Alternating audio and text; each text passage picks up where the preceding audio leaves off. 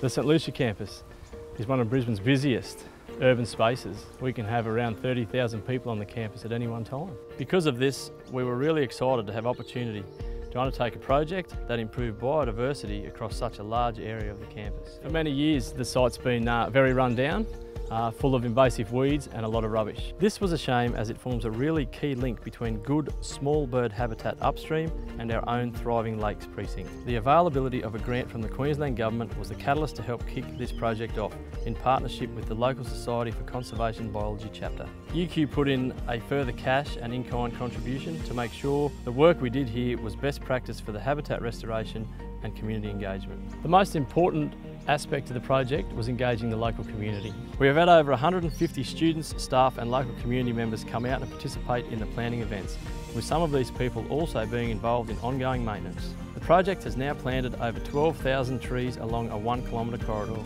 We've also removed hundreds of kilos of plastic waste from the riverbank. It's been really great to start to see bird life and other animals begin to move into the first stages of the planting. We're looking forward to continuing to watch the plants grow and to further continue the planning downstream.